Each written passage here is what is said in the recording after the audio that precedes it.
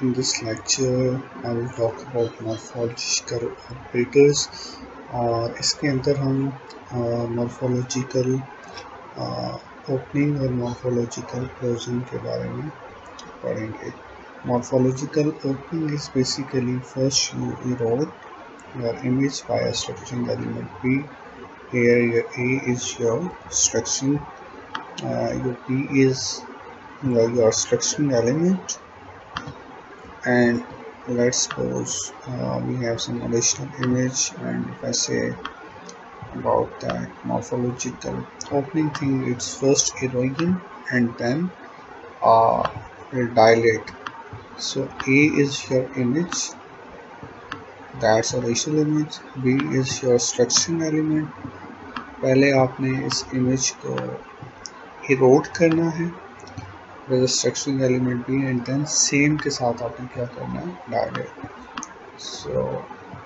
इकोट and then direct and one I say about morphological closing so morphological closing is basically first dilation first dilation and then erosion so ये हमारे पास morphological closing आ गया।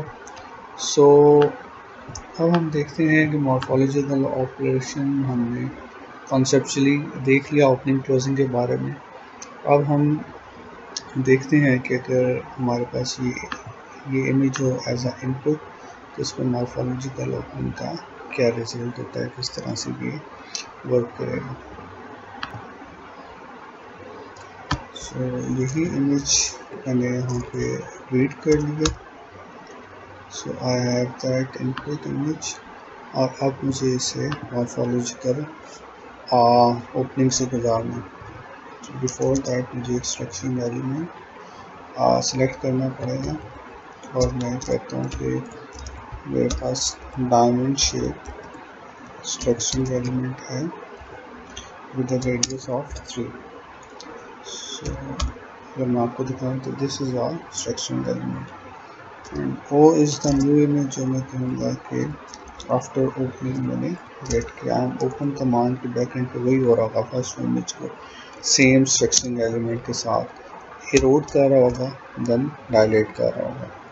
And closing में क्या हो रहा होगा first dilation and then so now I have the images अब मैं इनको शो करता हूँ। और चेक करते हैं कि इनके इफ़ेक्ट्स आपके पास कैसे आते हैं। So first discuss about morphological opening here it is I got this as a lizard so let's board. So so, यहाँ पे अगर हम देखें तो क्या हुआ है? यहाँ पे ये हुआ आपके पास के जो स्मॉल प्रोट्रूजन्स थी हमारे पास इस इमेज के अंदर, वो रिमूव हो चुकी है। दैट्स नॉट और जो आपके पास ऑब्जेक्ट्स था, वो यहाँ पे सस्टेन किया है। वो शेप में साइज़ में या ग्रो नहीं हुआ। जस्ट उसके एजेस पे थोड़ा सा इफ़ेक्ट आपके डिस्ट्रक्शन एलिमेंट की वजह से पड़ा बट ओवरऑल उसने अपने शेप को सस्टेन किया और ये स्मूथ हो गया लाइक एज इज़ आपके पास स्मूद हो गए।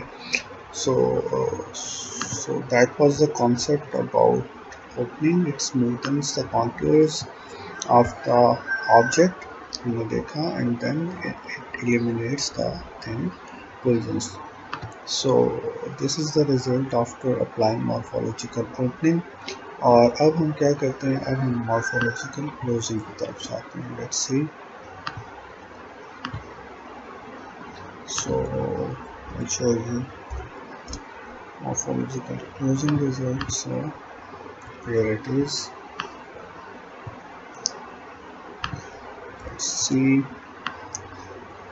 morphological closing के बारे में हमारे पास का कॉन्सेप्ट था? वो ये था कि fuses narrow breaks long thin eliminate small holes and fill gaps in the contours so यहाँ पे अगर हम देखें तो that concept is reflected in our picture के जो आपके पास कैब्स थे तो आर फिल्ड नाउ और आपके पास जहाँ पे भी होल वगैरह था that was filled and that's all about the open and closing think you can do it like first you can erode that image with the same subtreme element and then dilate so you get the same result or you can use a command जैसे हमने यहाँ पे देखा कि you can use and open and and close command to do, to do the same so that's all about morphological a compound operators that is morphological opening and closing